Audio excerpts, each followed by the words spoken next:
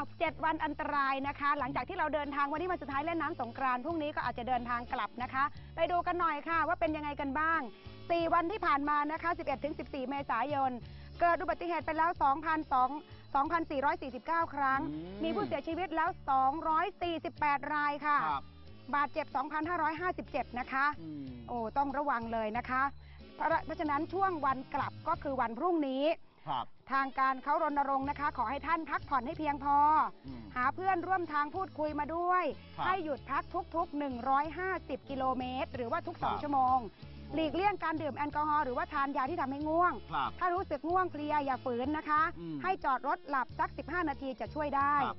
อืโอ้มโหมีคนถูกจับดำเนินคดีเกือบ2 0 0แสนอะแสนแปดก็อะ ประเภทเมาแล้วขับอะโอ้เออผิดกฎจราจรเนี่ยนะคะ เยอะดูสถิตินะคะ มากเลย อันนี้เขาจับจริงนะเขาขังด้วยนะเอเออใครเมาแล้วขับเนี่ยขังเลยอาอา15 วันเอาอย่าปฏิบัติเช่นนั้นนะครับค่ะ ท่านผู้ชมฮะ